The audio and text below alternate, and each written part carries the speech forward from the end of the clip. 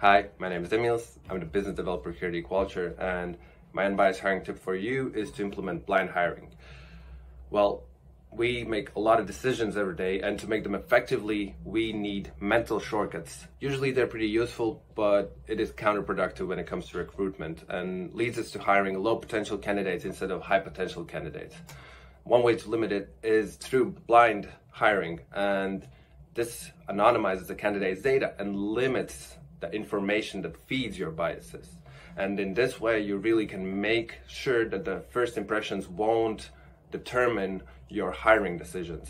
Um, and yeah, blind hiring in the end will help you make more objective decisions. It will improve your teams.